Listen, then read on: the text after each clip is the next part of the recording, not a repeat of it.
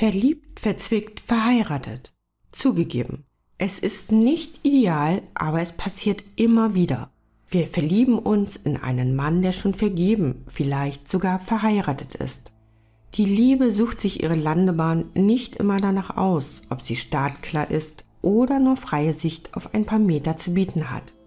Selbst wenn wir unsere Gefühle gut im Zaum halten können und unseren Verstand nicht vorübergehend in die Wüste schicken, wird es kompliziert. Die Liebe ist eine ganz wundervolle Sache, solange niemand dadurch zu Schaden kommt, auch wir selbst nicht. Einige Punkte möchten wir dir in unserem heutigen Video zu diesem heiklen Thema zu bedenken geben. Wenn dir unsere Videos gefallen, dann unterstütze uns gerne mit einem Daumen nach oben, abonniere Psychologie im Alltag, aktiviere die kleine Glocke und sei gespannt auf die Videos, die wir täglich für dich hochladen.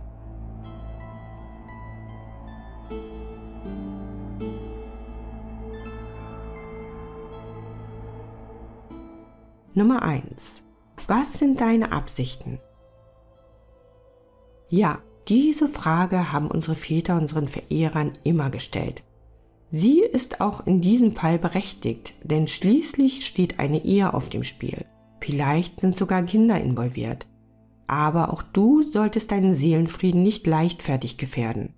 Verheiratete Männer üben manchmal eine starke Anziehungskraft auf uns aus, vor allem wenn sie älter, erfahrener und erfolgreich sind. Sie stehen mitten im Leben, wissen, was sie wollen und punkten mit Souveränität, Charisma und Lebenserfahrung. Überlege dir wirklich gut, welche Zukunft dir mit ihm vorschwebt, vorausgesetzt er erwidert deine Gefühle. Wenn er im Gespräch mit dir ständig Frau und Kinder erwähnt, ist er im sicheren Hafen glücklich und wird wahrscheinlich nicht einmal offen für ein Abenteuer sein. Wenn die Chemie stimmt zwischen euch, gehe am besten nicht leicht davon aus, dass er seine Frau für dich verlassen wird. Das tun Männer in den meisten Fällen nämlich nicht, selbst wenn sie es dir hoch und heilig versprechen. Wenn dir eine Affäre reicht und du kein Problem damit hast, die sogenannte andere Frau im Schatten zu sein, kannst du sicher einen vorsichtigen Versuch wagen. Doch bedenke in jedem Fall die Konsequenzen. Falls ihr gemeinsam arbeitet oder er vielleicht sogar dein Boss ist, kann eine Affäre, auch wenn sie gut läuft, üble Folgen für dich haben. Und ja, du kannst sicher sein, das böse Erwachen wirst du haben und nicht er. In manchen Unternehmen sind Beziehungen am Arbeitsplatz sogar strikt untersagt und ein Kündigungsgrund.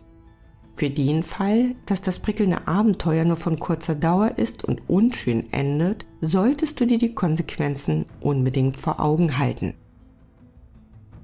Nummer 2. Ja, er will. Was nun? Eine heimliche Liebe fühlt sich zu Beginn immer berauschend und mächtig an. Das Gefühl, sich mit seinem Liebsten gegen die ganze Welt zu verbünden und kein Hindernis zum Glück zu akzeptieren, ist wirklich und wahrhaftig ein emotionaler Höhenflug. Du wirst es genießen, heimliche Nachrichten mit ihm zu tauschen, euch im Verborgenen zu treffen und ja, auch alle anderen, einschließlich seiner Ehefrau, an der Nase herumführen. Das Berauschende an einer Affäre mit einem verheirateten Mann ist nicht die Eroberung an sich, sondern der Reiz des Heimlichen und Verbotenen. Aus diesem Grund übrigens scheitern so viele Beziehungen, die ursprünglich aus einer Affäre entstanden sind. Nun seid ihr also ein Liebespaar. Wie soll es weitergehen? Sprich die Lage an der Front ruhig einmal an, wenn du dir mehr mit ihm vorstellen kannst als nur ein Abenteuer. Er wird dir ziemlich sicher klar und deutlich sagen können, ob er seine Ehe hinter sich lassen will oder ob das für ihn keine Option ist. Im letzteren Fall musst du ihm das bitte glauben. An den meisten Ehen hängt sehr viel mehr Gepäck als nur ein Trauschein. Kinder, Familie, gemeinsame Immobilien und, man glaubt es kaum, aber auch Gefühle sind bei langjährigen Verbindungen, die vielleicht im Alltag nur ein wenig eingeschlafen sind, durchaus noch ein Thema. Wenn er tatsächlich plant, seine Frau für dich zu verlassen, schau dir diese Entwicklung eine Zeit lang an. Du solltest keinen Druck ausüben. Das hat noch keiner Beziehung gut getan. Falls es aber auch nach Monaten immer noch bei blumigen Versprechungen bleibt, musst du diejenige sein, die die Konsequenzen zieht. Du hast zwei Möglichkeiten. Du kannst die Affäre weiterlaufen lassen in dem Wissen, dass es immer nur eine solche bleiben wird. Oder du rettest deine Würde und dein Seelenheil und suchst dir jemanden, der frei für eine gemeinsame Zukunft ist. Nummer 3. Geliebte auf Lebenszeit. Wenn du dich für die Rolle der Geliebten entscheidest, musst du mit dir selbst einen Pakt schließen. Diese Existenz ist nämlich an ein paar Bedingungen geknüpft, die nicht verhandelbar sind. Du wirst zum einen aus gesellschaftlicher Sicht immer die Böse sein, egal welche Furie dein Liebster zur Ehefrau hat und wie schlecht sie ihn behandelt. Die Gesellschaft ist auch im 21. Jahrhundert noch immer moralisch auf der Seite der Ehe. Das muss dir klar sein.